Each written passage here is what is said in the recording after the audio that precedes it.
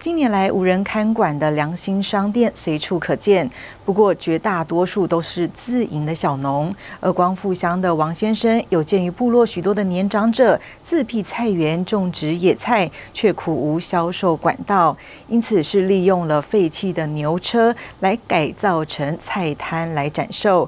那么呢，采取自主买卖的方式，做到了防疫，也兼顾部落长者们的农产经济收入。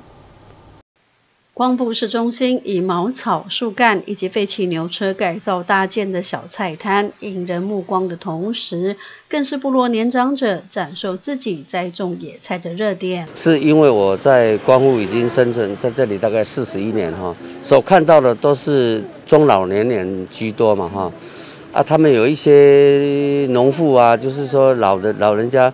他种的菜吃不完的菜啊，都很可惜，都卖不出去。在市场的前面这边有一个空地嘛，哈，就跟这个这个停车场的老板借借了一个空地，啊，摆设这个，让我们这边吃不完多余的菜，能在这边跟大家一起分享，做了一个自助摊，啊，那那自己自由选购。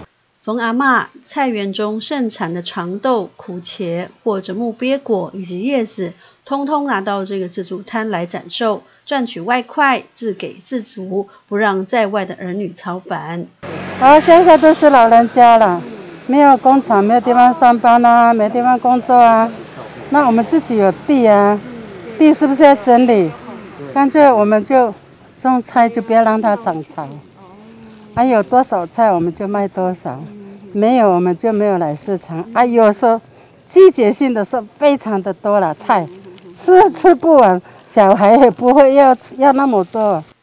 另外，善于制作原住民传统腌制品的曾小姐，视自助餐为展售的平台，让更多消费者来选购品尝道地阿美族的腌制好物。腌制的盐巴腌制的，不用冰，它不会坏掉。我们白天都在做事啊，你看，穿雨鞋，有时候在菜园啊，弄那个农作物，嘿，没有没有时间这样子。卖东西，然后就放在这里。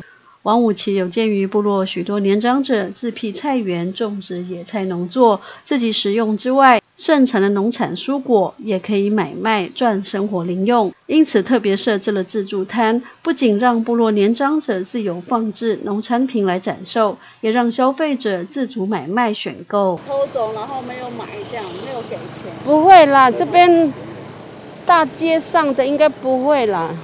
嗯，偷拿拿拿去吃也就算了。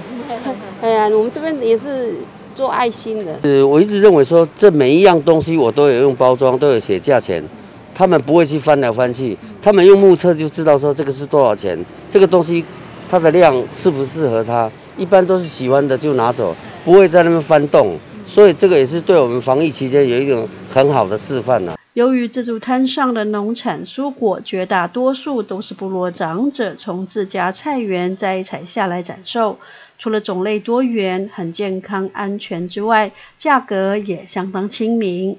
王武奇说，目前提供五到六位部落长者定期展售蔬果农产，以自助买卖的模式，部落长者省去了顾摊叫卖的辛劳，也让消费者轻松选购。落实防疫不接触的同时，更能够兼顾到部落长者们的农产经济收入。记者史玉兰光复采访报道。